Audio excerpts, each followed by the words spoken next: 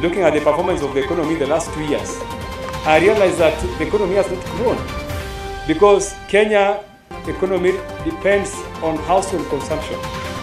Household consumption is the money that you have in your pocket that you can use to buy items, to buy sugar, to buy food.